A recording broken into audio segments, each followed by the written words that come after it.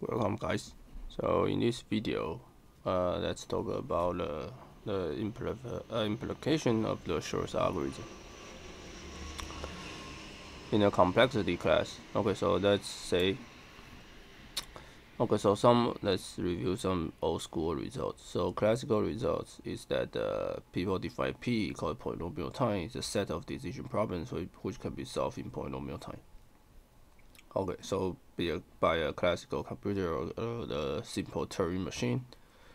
And there's an NP called non-deterministic polynomial time. It means that the set of the problem L, the set of decision problem you give given X, then one can verify LX is true in polynomial time. So basically, uh, each uh, uh, maybe most of the problem is in NP. So factoring is NP, uh, graph isomorphism is in NP.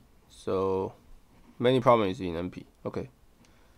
So uh, there's a thing called the NP complete problem. Basically, you can view it's the difficult, the most difficult problem in NP. And uh, each, if you can solve NP complete problem, then the so you can solve NP. So well, there are many. Oh, there are also many NP very famous NPC problem like the three SAT, uh, the travels uh, the traveling salesperson and the Hamiltonian graph, uh, sorry, the Hamiltonian cycle.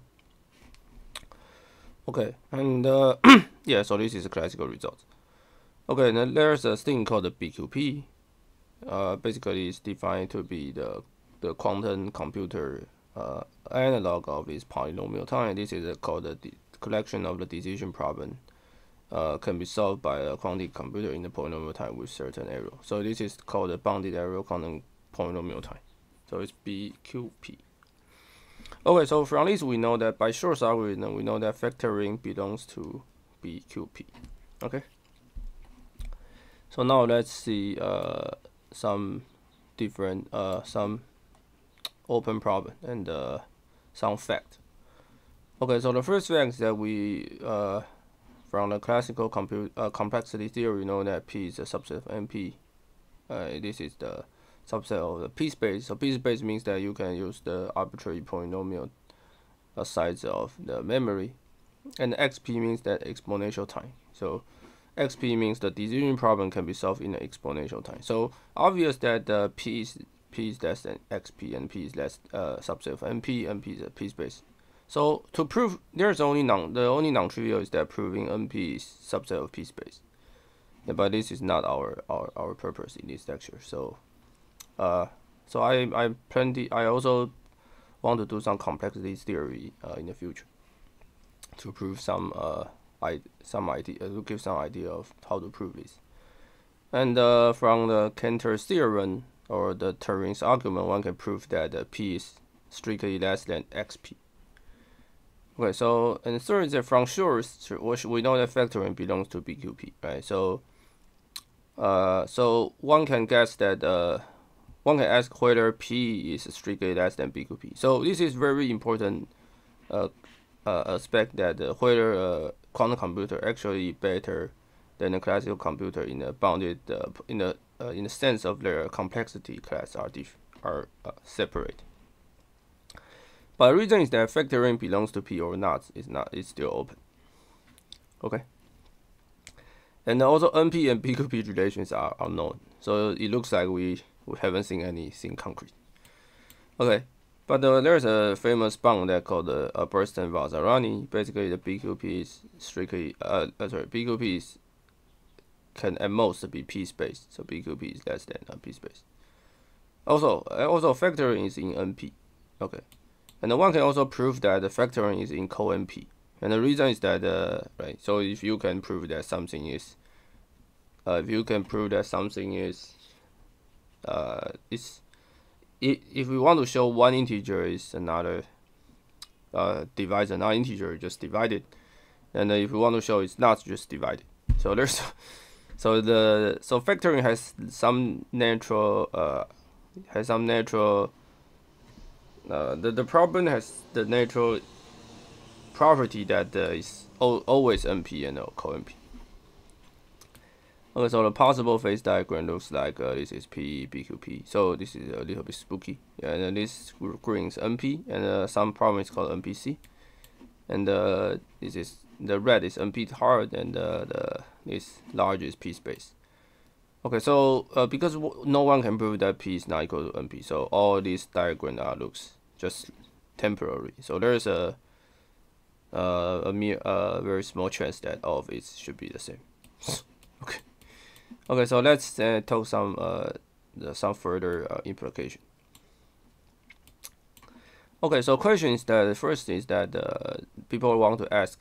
So this is very uh, interesting. Whether BQP cover NP complete, right? The reason is that we don't know. Okay, but if P equals NP, then the then sure, then this is correct.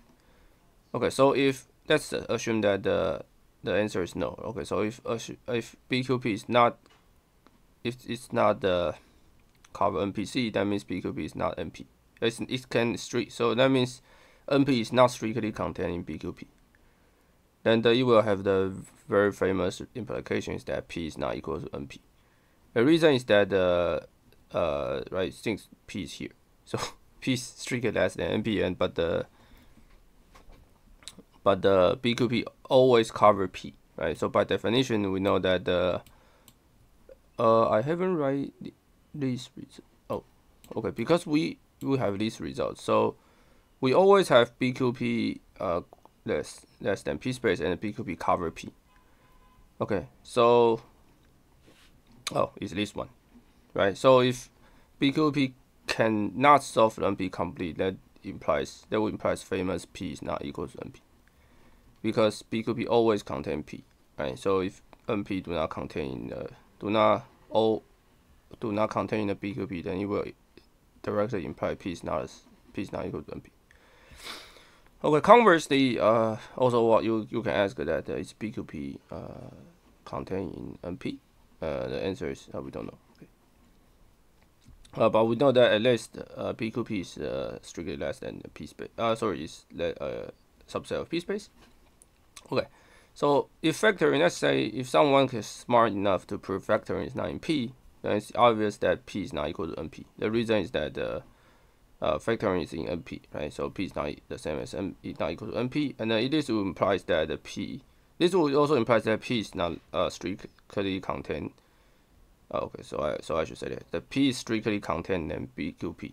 So there's no equality here. The reason is that the factoring in BQP, but now factoring is not in P. Okay, and this is also famous. If someone can directly prove that uh, P is less, less or equal to BQP, then one would immediately get the P is not the same as P space. So this also solves the important problem. So you see that the, somehow like the, the bounding quantum. So if the bounding error quantum polynomial time is like a sandwich, it's like a sandwich between all these complexity class. So if anyone can prove that the, the quantum computer in a complexity way or in a mathematical way actually performs better than the classical computer, then the one can solve very one can solve many uh, interesting problems. And I can I can also talk about a little bit why uh, why people believe factoring. So so one, one, one may just directly ask that is factoring a NP complete problem, right? Because if factoring is the NP complete problem, then then BQP will cover NP complete, right? Then uh, so it has a chance that maybe P equals NP, right? But the idea is that the factoring, uh, why people do not believe factoring belongs to NP complete is that the factoring is actually also in the co-NP. So if factoring, it turns out that if factoring belongs become NP complete, then co-NP will equal to NP. Then the, then the polynomial hierarchy will collapse in in into some level. So this is also a conjecture that the factoring cannot be uh, NP complete. So that's why uh, that's why this is the most I think most computer scientists or most theoretical computer scientists belong uh, believe believe this is the actual uh, possible complexity diagram, although no one can prove anything. okay, I will see you guys in the next video. Be sure to subscribe to my channel.